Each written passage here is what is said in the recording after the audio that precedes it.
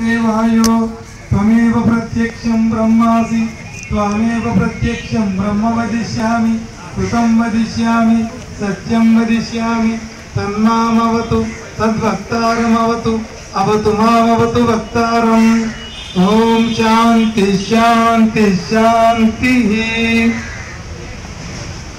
ఇవాళ అనుకున్న ప్రకారంగా శాంతి యజ్ఞం జరిగింది.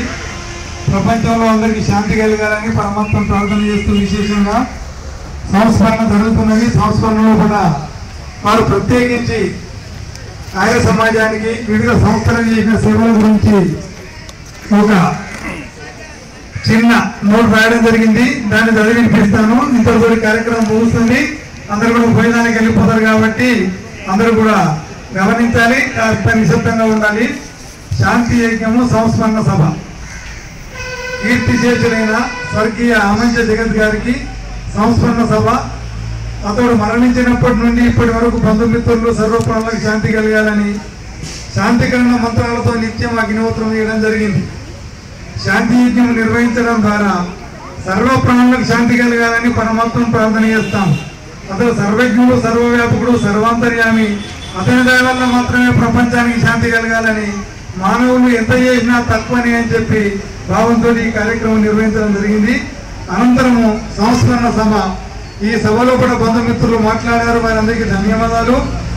ఇప్పుడు ఈ జగత్ గురించి వారు చేసిన మంచి పనులని జ్ఞాపకం చేసుకునేటువంటి యొక్క ముఖ్యమైనటువంటి ఈ కార్యక్రమంలో కూడా మనము అందరం ఉన్నాము. మొట్టమొదలు వారి కుటుంబ సభ్యులకు బంధుమిత్రులకు అందరికి కూడా విశేషంగా దుఃఖాన్ని కలిగించి అనుకోకుండా అకస్మాత్తుగా రాత్రి వరకు బాగా ఉండి తెల్లవారకు లేకుండా పోయినటువంటి యొక్క జగత్ యొక్క వర్ణము అఠాన్ వర్ణం అందరికీ విస్మయాన్ని కలిగించింది బాధను దుఃఖాన్ని కలిగించింది వర్ణనాతీతమైనటువంటి దుఃఖము దాన్ని పరమాత్మ తప్ప ఎవరు కూడా తగ్గించలేరు జాతస్యయి ధ్రువ మృత్యు పుట్టిన వారు వర్ణించక తప్పదు.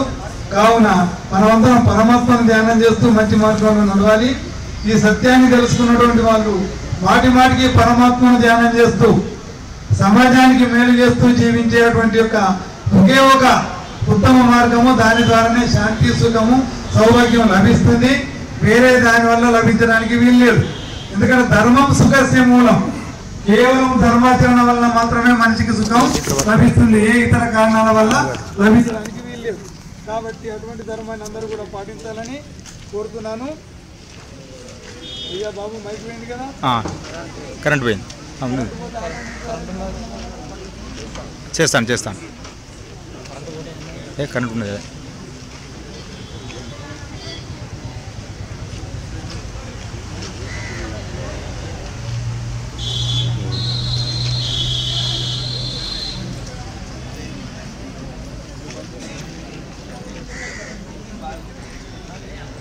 జగత్ గారు వాళ్ళ డేట్ బర్త్ బట్టి ఎనిమిది తొమ్మిది వందల నలభై తొమ్మిదిలో కూడా జన్మించడం జరిగింది. చిన్నప్పటి నుంచి విద్యాభ్యాసము దాదాపు అసంపర్తిలో పూర్తి చేశారు. తర్వాత హన్మకొండ వరంగల్లో కూడా జరిగింది. అంటే అసంపర్తి హన్మకొండ వరంగల్ని ఆయన విద్యాభ్యాసం పూర్తిగా జరిగింది. ఇక్కడనే చాలామంది మిత్రులు బంధువులు స్నేహితులు ఎక్కువగా ఉన్నారు. ఆ కాలం నుండి చాలా కష్టపడి చదివినటువంటి వారిలో అగ్రగణ్యుడు లెక్కల్లో రెండు వందలకు రెండు వందల మార్కులు తెచ్చుకున్నటువంటి గొప్ప లెక్కల మాస్టరు. ఆర్టీసీలో ప్రప్రథమంగా అసనపర్తి నుండి బీటెక్లో సీట్ సంపాదించిన విద్యావంతుడు స్టేట్ లోపల కూడా థర్డ్ ర్యాంకును సాధించినటువంటి ఘనత ఇతనికే దక్కింది. చాలా మంచి వ్యక్తి ఉపకారం చేయు స్వభావం గలవాడు మృదు స్వభావం గలవాడు సరళము శాంతిగా పనులు నిర్వహించేవాడు ఎప్పుడు నవ్వుతూ మాట్లాడేవాడు అతనిలో ఉండే బాధను విచారాన్ని ఎప్పుడు కూడా బయటికి కనిపించేవాడు కాదు. అది అతని యొక్క గొప్పతనం గొప్ప గుణము ఇది అందరికీ రావడం కష్టము. ఇటువంటి వ్యక్తి అకస్మాత్తుగా రాత్రి వరకు బాగా ఉండి తెల్లవారు మందించడం అందరికీ విస్మయాన్ని కలిగించింది. ఆ పరమాత్మ యొక్క దయ వల్ల వాళ్ళ కుటుంబానికి బంధువులకు మిత్రులకు అందరికీ కూడా శాంతిని కలిగించాలని ఈ సందర్భంగా ప్రార్థిస్తున్నాము వీరు నాకు ప్రత్యేకించి చాలా సన్నిహితులు మొట్టమొదటి నుంచి ఆరు సమాజ కార్యక్రమాల్లో కూడా వివిధ రకాల కార్యక్రమాలు చేసిన. మేము యజ్ఞాలు చేసినాం. కిచెన్ శిబిరాలు నడిపినాం యోగ శిబిరాలు నడిపినాం. తర్వాత ఇంటింటి ఐక్యమని ధర్మ కార్యాలు చేసినాం. ఇటువంటి వాటిలో కూడా బాగా సహకరించేవారు. మిక్కిలి స్నేహితులు కోపం అనేది అతనికి ఎప్పుడు తెలియదు నేను అప్పుడప్పుడు కోపడ్డా కూడా ఆయన ఓపికతోటి నన్నే మెల్లగా మాట్లాడమని చెప్పేది కానీ అతడు కోపానికి మాత్రం రాకపోయేది. అటువంటి వ్యక్తి అతడు మనకు చాలా సన్నిహితుడు. అసలు ప్రతి ఆరు సమాజంలో కూడా చిన్నప్పటి నుంచి పనిచేసి మొట్టమొదటిసారిగా ఆర్య కుమార సభను స్థాపిస్తే దానికి మంత్రిగా ఎన్నుకొనబడినాడు అప్పుడే కీర్తి చేతులైన శీలం మౌలి గారు ప్రధానిగా ఉండేది వీరిద్దరు కలిసి ఆర్య కుమార సభను నడిపించి సమాజాన్ని బాగా అభివృద్ధి చేసినారు. తర్వాత అప్పటి కార్యవర్గ సభ్యుల్లో కొందరు పేర్లు చదువుతున్నాను. శ్రీ వెంకటదాస్ నరసింహన్ గారు శ్రీ గురువు రామూర్తి గారు కీర్తి చేసిన దండగుడం కనకయ్య గారు కాజీపేట లక్ష్మీనారాయణ గారు ఆమంత భిక్షపతి గారు మరియు కాజీపట్ల వెంకటరామస్వామి గారు అప్పుడు కార్యవర్గంలో కూడా ఉంది ఇంకా చాలా మంది కూడా సహకరించి ఆ యొక్క కార్యక్రమాన్ని ముందుకు తీసుకుపోయిన తర్వాత పాఠశాల ఏర్పాటు చేయడం జరిగింది.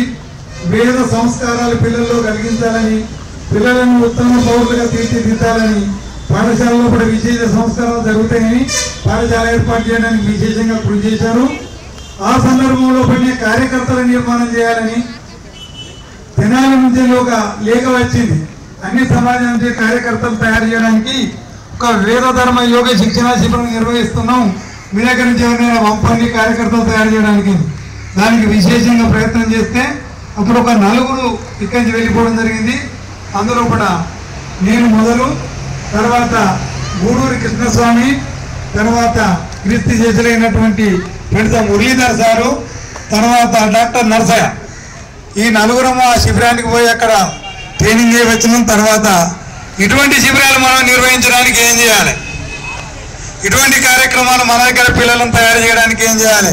అని చెప్పి ఆలోచించి దాదాపు ఒక నాలుగైదు సంవత్సరాల తర్వాత వరంగల్ ప్రాంతీయ ఆహార సమాజ ప్రచార మండలిని ఒక మండలి స్థాపించి అసన్పర్తిలో అన్నకొండలో వరంగల్లో కాజీపేటలో పరకాల్లో నర్సంపేటలో మహబాద్లో ఎక్కడెక్కడ సమాజాలను సేకరించి వాళ్ళందరినీ ఒకరిద్దరిని మెంబర్లను తీసుకొని ప్రాంతీయ సమాజాన్ని ఏర్పాటు చేసి దాని ద్వారా దాదాపు ఇరవై వేల ధర్మ యోగ శిక్షణ శిబిరాలు నిర్వహించడం జరిగింది.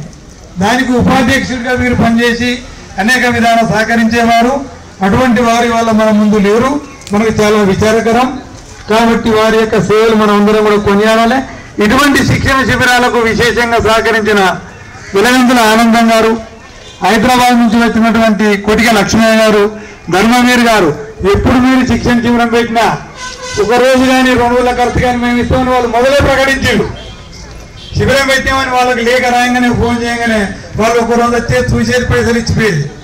అంటే ఇటువంటి వాళ్ళు అనేక మంది ఉండడం వల్లనే మనం శిక్షణ శిబిరాన్ని నిర్వహించగలిగినాం.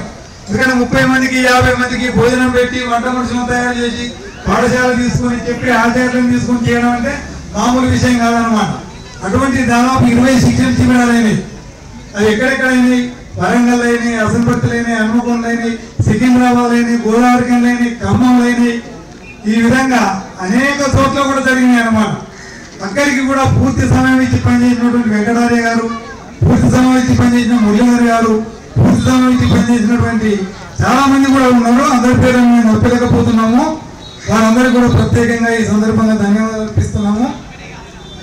తర్వాత ఈ ఏర్పాట్లను చూసి మూతుకూరి వెంకటరామ నరసింహారావు గారు ప్రభావితులై నేను నాలుగు ఎకరాల జాగు నుండి జాగిస్తే మీరు ఒక పాఠశాల కనుక కట్టి ఒక లక్ష రూపాయలు తయారు చేస్తే అలా పాఠశాల పెట్టి రోజు యోగా యజ్ఞం నేర్పాలి విద్యార్థులకు అని చెప్పి వాళ్ళు ముందుకు వచ్చి ఆ శిక్షణ శిబిరంలో ఆ సందర్భంగా వారు ఒక లక్ష రూపాయలు కనుక మీరు తయారు చేసి ఇస్తామన్నారు లేకుంటే ఏమన్నారు?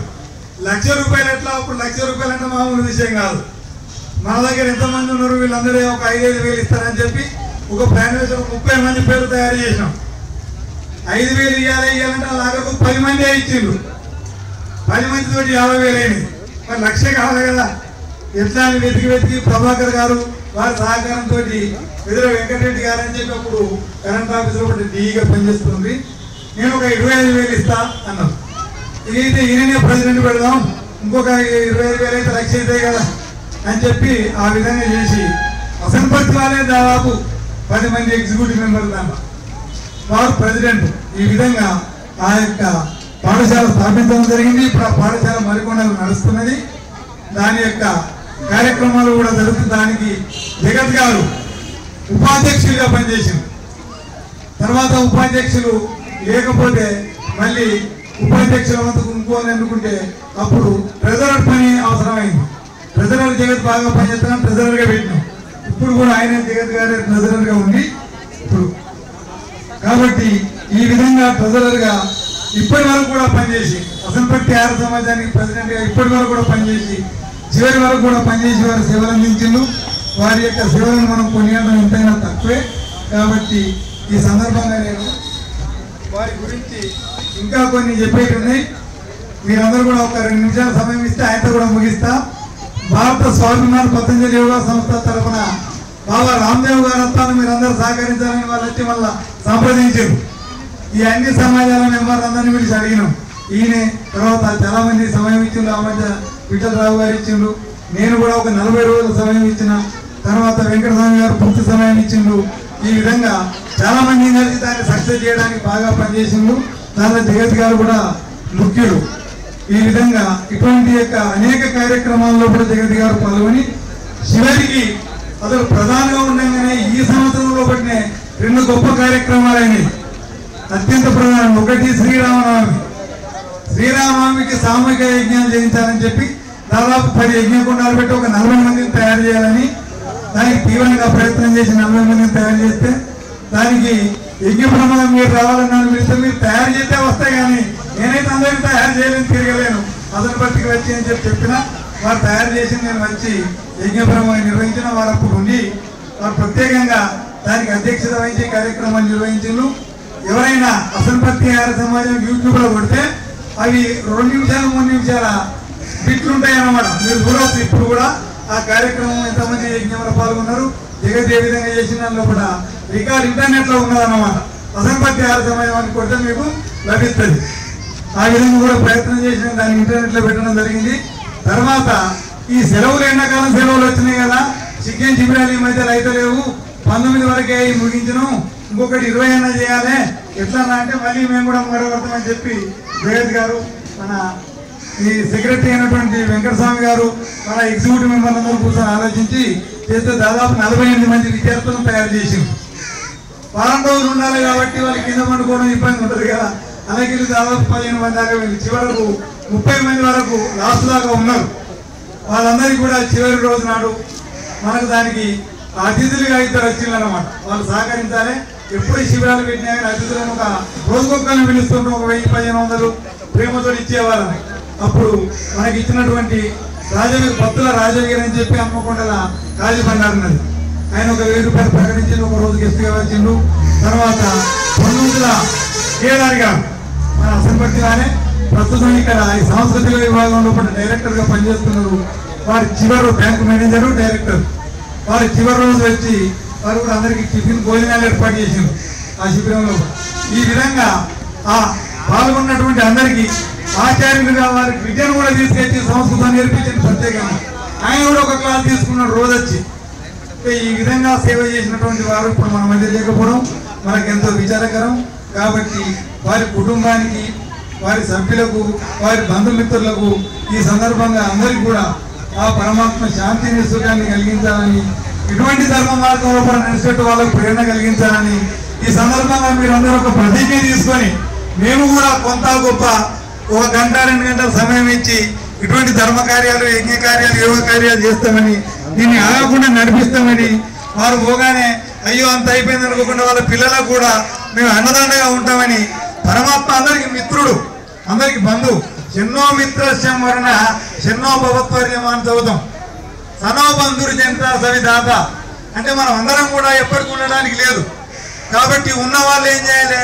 పోయిన వాళ్ళ వంతుకు వాళ్ళ యొక్క బాధ్యతను తీసుకొని వాళ్ళకి సహాయం చేసి సహకరించి వారిని ధైర్యంగా ముందుకు నడిపించాలి కాబట్టి మనం అందరం కూడా వారికి వెంబడి వాళ్ళ కొడుకులకు కానీ బిడ్డలకు కానీ మనవలకు కానీ ఏమైనా కష్టాలు వస్తే మనవంత సహకారాన్ని అందించి వాళ్ళ లోపల ఏ విధమైనటువంటి చిక్కులు రాకుండా చూసి వాళ్ళని ముందుకు తీసుకుపోవాలని జగతిపైన నిలబెట్టాలని కొడుకు ఆ పరమాత్మను ప్రార్థిస్తూ అందరికీ శాంతిని సుఖం కలిగించాలని ఇంతసేపు శ్రద్ధతో కూర్చుని మీ అందరికీ కూడా ధన్యవాదాలు అర్పిస్తూ మా ఉపన్యాసాన్ని సమాజపరంగా దీన్ని ముగిస్తున్నా.